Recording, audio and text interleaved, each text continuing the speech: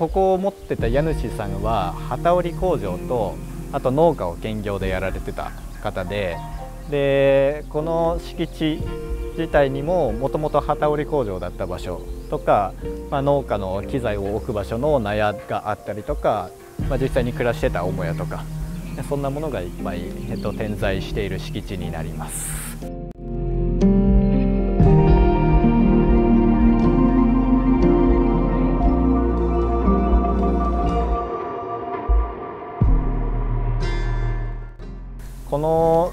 区がすごい洪水の多い地区でで7年8年くらい前にこの近くの川で洪水がまた起きてでこの辺だと2メートルくらいの高さまで洪水したんですね。でこの敷地全体がその洪水によってもう、えっと、荒れ果てたあの廃墟みたいな感じになっちゃってたんですよ。で誰も手つかずの状態でで、まあ、誰も手がつけられないからもうずっと放置せざるを得ないみたいな感じで34年くらいですね。放置されてたところをもともと溶接工で建設的なちょっと知識もある父がここだったら自分で自力で直せるっていうのであのもうすぐに決断購入の決断をしてで早速あの雑草を刈るところから少しずつあの一つずつ回収していったっていうような場所になります。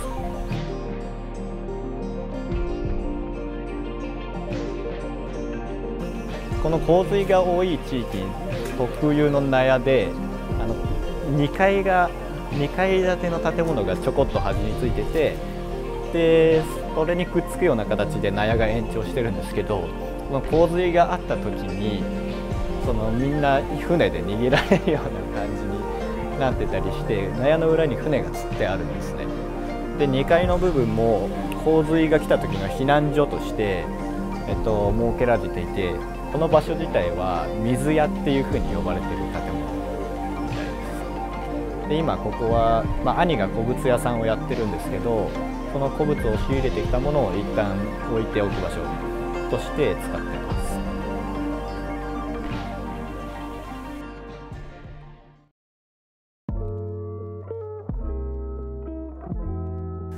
で敷地内入って真ん中にあるのが僕があの運営している友蔵っていう、まあ、照明器具の、えっと、店舗兼ギャラリーになるんですけど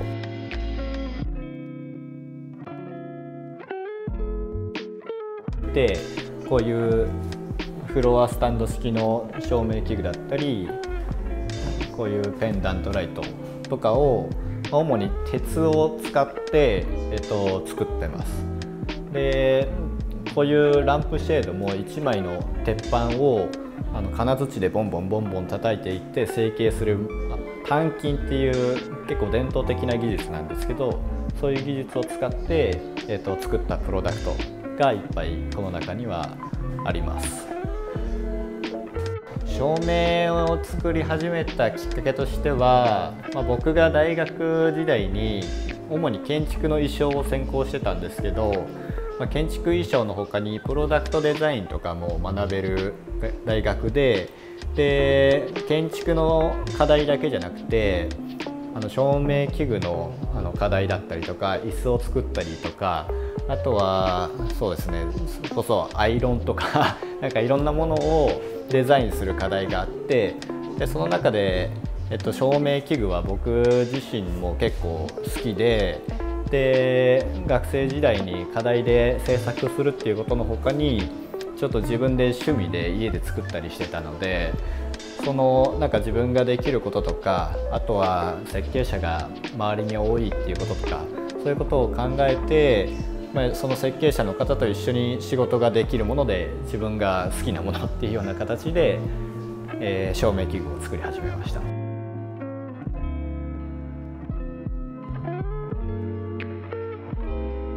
テクチャーという会社で働いていたんですけど、えっと、そこでは設計士さんとやり取りしたりあとは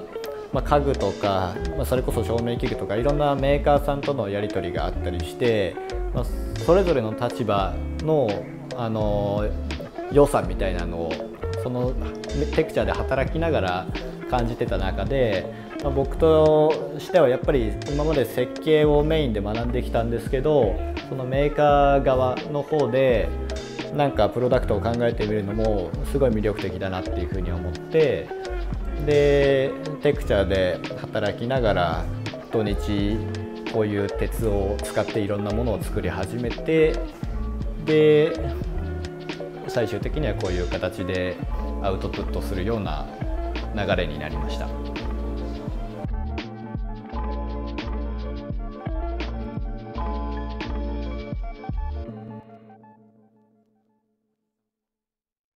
僕がここの商品を作ってる 作業場がこんな形で外であってであそこで鉄を叩いたりしながらあっちにある建物は主に、えーと、溶接とかをやったりそういう機材がある建物になります。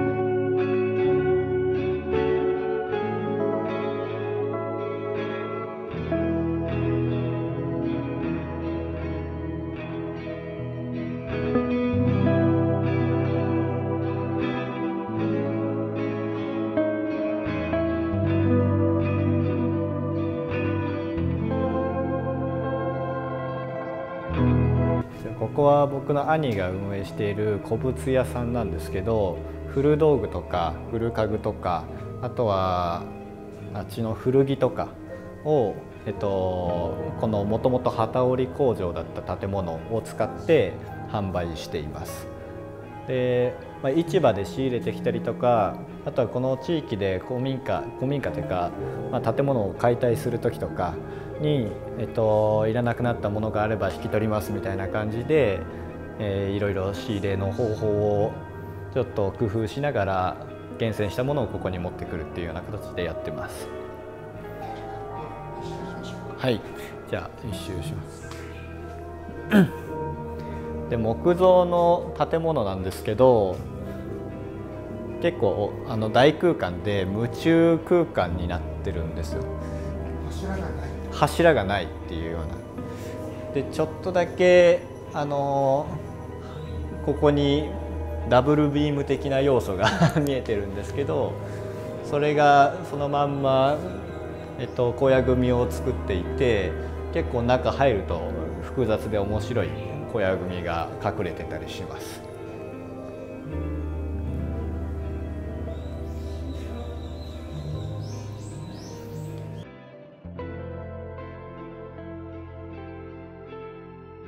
ちょっと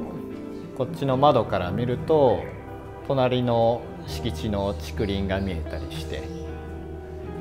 結構雰囲気のいい場所になってますこの大空間の方が主に古家具古道具を取り扱っていてこっちのちょっと付属してる空間の方には古着があります。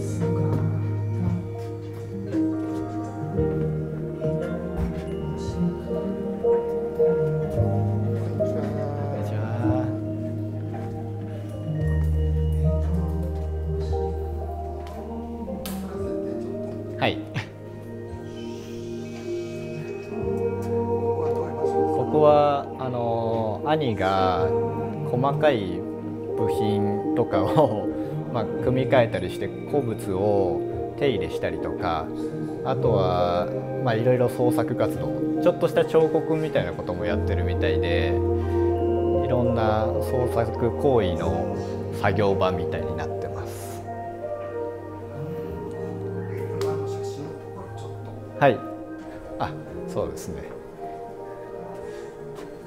ここにでこの大空間に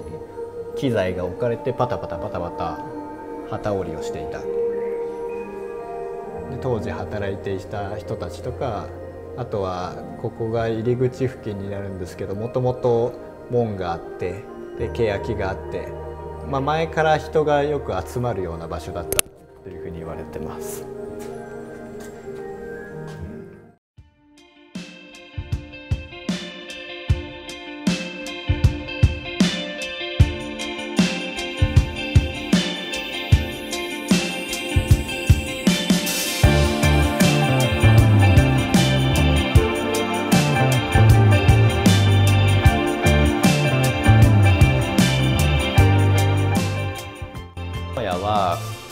フェとしての機能とあとちょっとした作家物を取り扱うコーナーとかもあります。作家物の器だったりとかあとはこういうチュニック洋服が置いてあったりとか。これは僕が今着てるものの色違いなんですけど、まあ、実は母親デザインの服を僕も着てるんです。あれ着てる？れそうなんですか？あの晴れと毛でいうところの両方使える。そう両方使えるしこういうちょっと緩い服でそのまま作業もできるみたいなもうユニフォームみたいになって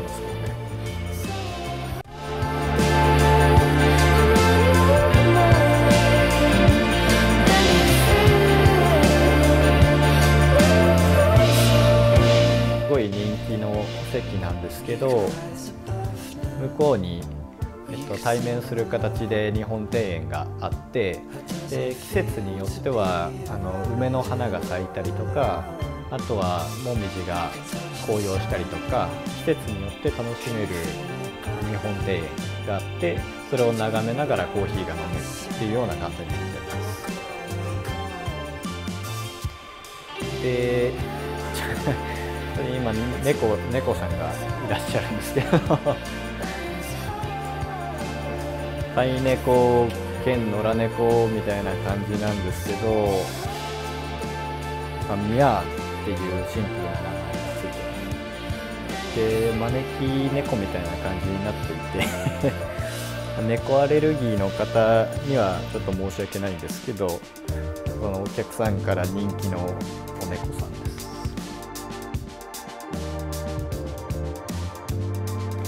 は主に、えっと、デザインを一つ一つ決定していくっていうのは母がメイン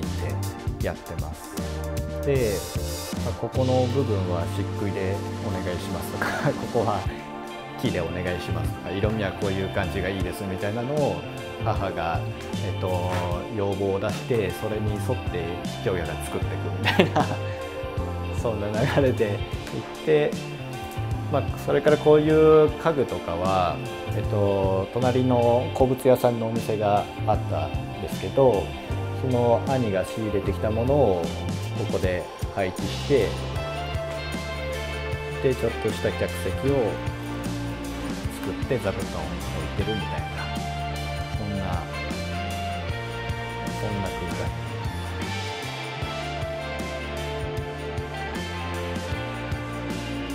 梅ソーダとかそういう飲み物を作る時の梅シロップをそこで採れた梅で作るみたいです。はい、いえ特にデザイナーとかいうわけではなくて、まあ、割と20代前半20代の前半からずっと専業主婦として、まあ、生きてきた人なんですけどまあ、子供がみんな独立するようになってからこんな形で自分の、まあ、センスを発揮できるような 活動をちょっとずつ始めてるみたいな感じですね。いいですね 若いうちにそうですね。子育てしてまだ元気なうちに活動を再開するみたいなここは結構子連れのお客さんとかが来るので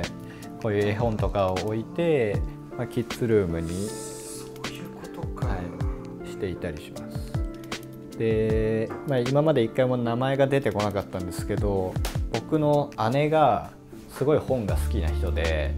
でそれも絵本マニアみたいな人なんですよで本屋さんで絵本コーナー担当で働いてたみたいな人ででそこでいっぱいかき集めた絵本を姉チョイスで置いてます。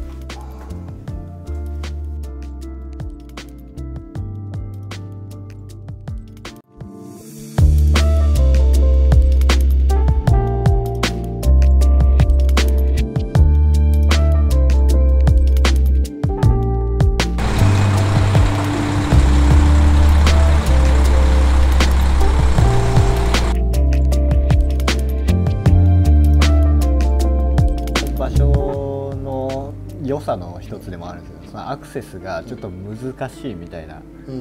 あの都会にの駅の近くでちょっとふらって寄れるっていう場所じゃなくて、ここに行こうみたいな感じで、うん来ないと来れない場所っていうのがなんかちょっと特別感があるみたいで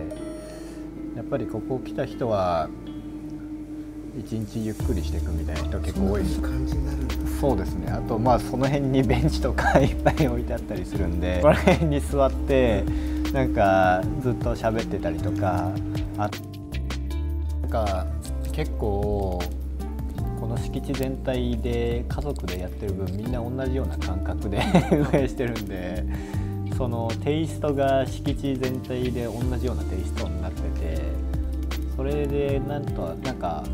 特別な空気感みたいなのが蔓延してるんですけど。いや本当ここ来てくれる人もなんか何かしらの才能を持ってここに来るみたいなことが多くて一芸に秀でてる人が多くて。なん。でお客さんだったけどいつの間にかここで演奏してる人になってたりとか。あ、そうなんだ。なんか想像する意欲を持った人が本当に集まってくる場所になってますね。が自分でやり始めたけどいろんなコラボの仕方を考えられてここに来てくれる人たちのだけの中中だけでもなんか素敵なものができるからすごい恵まれてるなって思います。